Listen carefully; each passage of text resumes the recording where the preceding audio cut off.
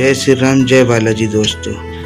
आज हम आपको बताएँगे डायबेटर हम माइट्रोकॉल की फिटिंग कैसे करते हैं। आइए हम खोल के दिखाते हैं कि डायबेटर में एम ये है डायबेटर ये है माइट्रोकॉल और यह है एमटी जो इसमें कैसे किया। आइए हम आपको इसकी पैकिंग दिखाते हैं। खोल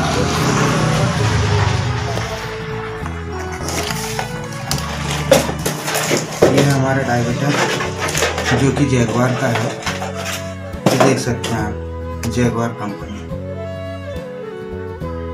जैगवार कंपनी का है ये, और ये है हमारा डायबेटर जैगवार का। इसमें हम एंटी लगाते हैं। एंटी ये पौन बाई आधे की है। इसको हम इसमें टैपलॉन लगा के कर देंगे टैपलॉन के थ्रू। कैसे टैपलॉन लगा रहे हैं। जिसको 15 से 20 राउंड 25 राउंड 30 राउंड अपन कर सकते हैं। ये देखिए, ऐसे ही सब पे लगा लेना है हमें। ये हो गया।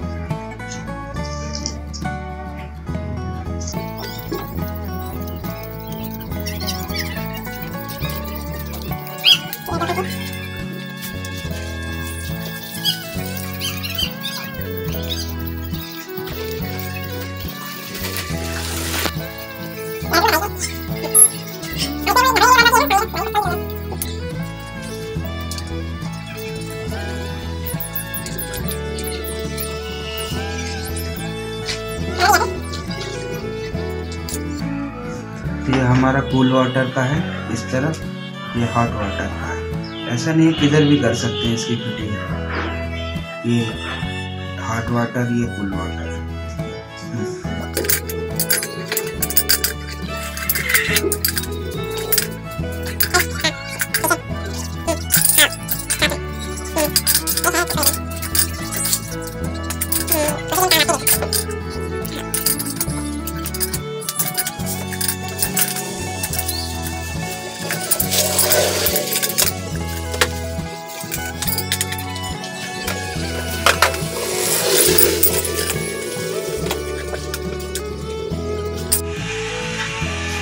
यह है हमारा माइट्रोकोल ये भी जैगवार का है। इसमें एक एम टी एक एफ़ टी लगेगी। एम टी यहाँ कसाएगी, नहीं एम टी यहाँ कसाएगी, और एफ़ टी यहाँ कसाएगी। ये डेढ़ इंची का है, ये देख सकते हैं। एक सही, एक बटा दो लिखा है। डेढ़ से कन्वर्ट होके ये सवा में आ गया है।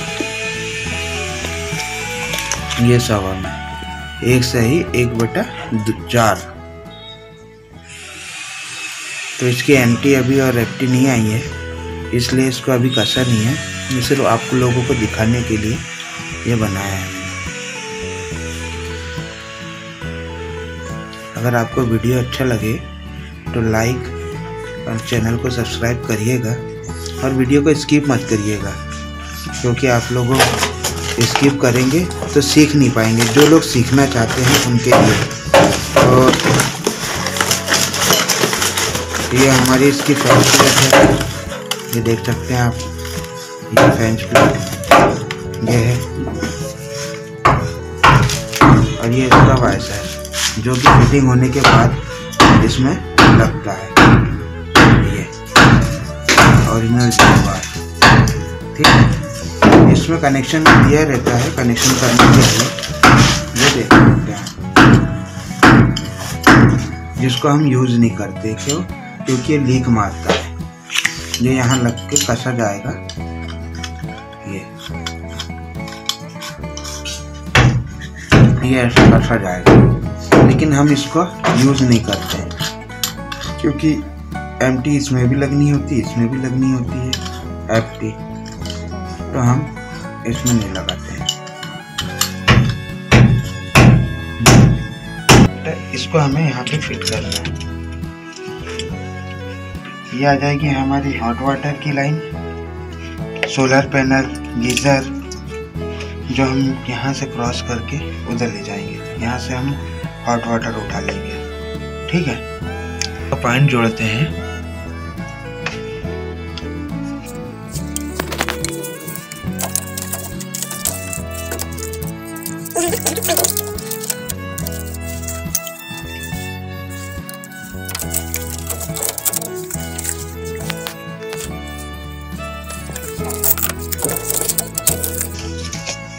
ये हो गया हमारा दोस्तों।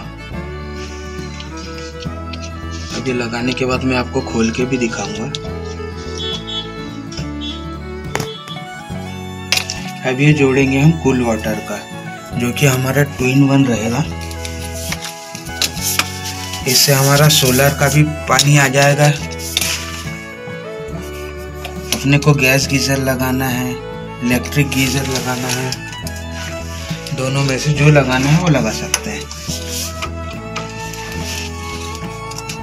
ये हो गया अपना।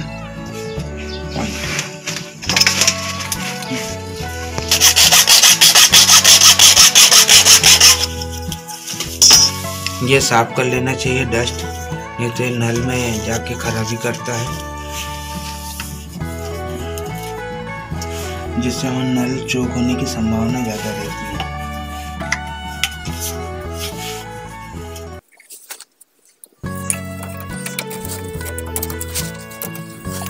ये मेरे पास एक टुकड़ा पड़ा है, जिसका नाप लेके मैं काट के यहाँ जोड़ दूँगा।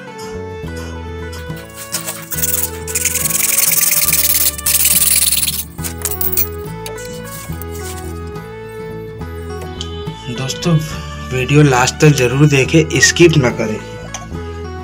क्योंकि जिससे सीखना है, वो वीडियो पूरा देखेगा। बाकी जो दोस्त लोग नहीं देखना चाहते, वो स्किप कर सकते हैं। ये हो गया अपना गीजर। सोलर का अब ये जोड़ के उधर नेक्स्ट वाले बाथरूम में चला जाएगा। ये अपना हो जाएगा। एक पॉइंट यहाँ पे, शावर का पॉइंट।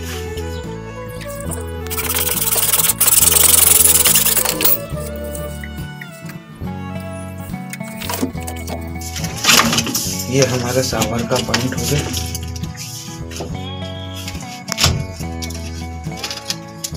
जो कि थोड़ा सा बड़ा है, इसको हम छीन लेते हैं।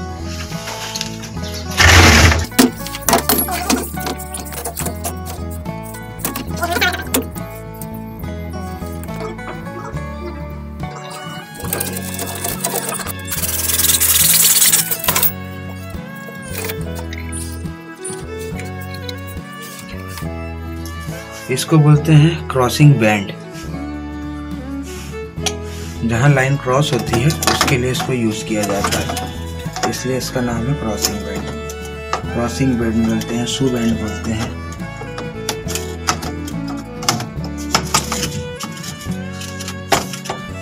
ये हो गया हमारा क्रॉसिंग बैंड अब हम इसको नाप करके यहाँ पे इसका पॉइंट दे देंगे.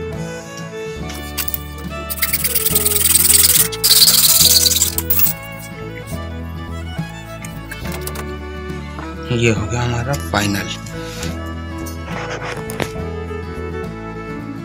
ये देखिए डायवेटर इसका नल, ऊपर शावर का पॉइंट ये हमारा सोनल का सोलर आया जो, यहाँ पे लग गया है गर्म का, और यही क्रॉस होके क्रॉसिंग बैंड लग के उधर वाले बाथरूम में चला जाएगा। ये हमारे साथ डेढ़ इंची की लाइन है, जो हमें उस बाथरूम में कनेक्ट करनी है। अलग से दूसरी लाइन नीचे लाई गई है, क्योंकि मकान मालिक का बजट कम है, कम में बम काम करना है। और यहाँ पे पॉइंट आ जाएगा नल का, यहाँ पे एक शावर का, ये पिचकारी बोलते हैं जैसे जेट और यहाँ पे हमारा वो लग जाएगा क्या? और यहाँ हमारा माइट्रोकोल लग जाएगा। यहीं से पुश होके यहाँ हमारी बॉल हैंगिंग लगेगी। जगह कम है दोस्तों। स्पेस कम है, आपको दिखाता हूँ। इसका स्पेस दिखता है? ज़्यादा से ज़्यादा चार बाई चार बाई पाँच का बाथरूम है मेरे ख्याल से। इससे ज़्यादा तो नहीं है।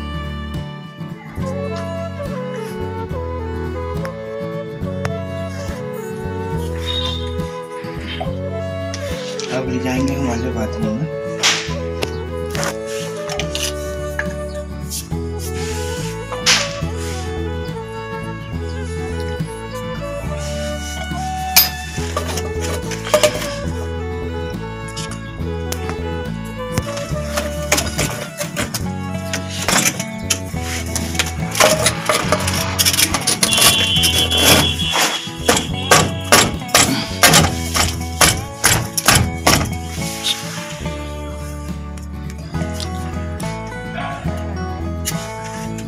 क्रॉस होके इधर वाले बात